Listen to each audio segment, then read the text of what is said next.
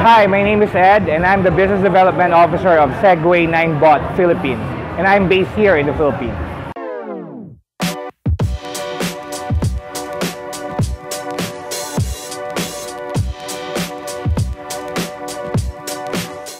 Our company is called Segway Ninebot.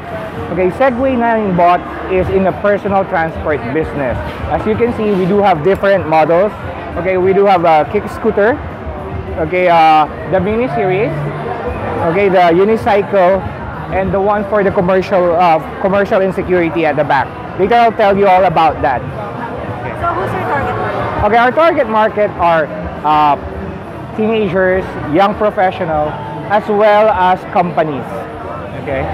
So what's your business plan for next year? Okay, next year, uh, actually, we're in the works right now. We're talking to a scooter sharing bus uh, business owner. So scooter sharing business is just like in the US. You can see it there that um, uh, you can rent a scooter just by using QR code and pay it by via uh, PayPal, uh, GCash, or credit card. So once you use it, then it uh, like it will cost you something per minute. It's just like a taxi. Then you leave it, uh, you leave it wherever you want it to. Okay.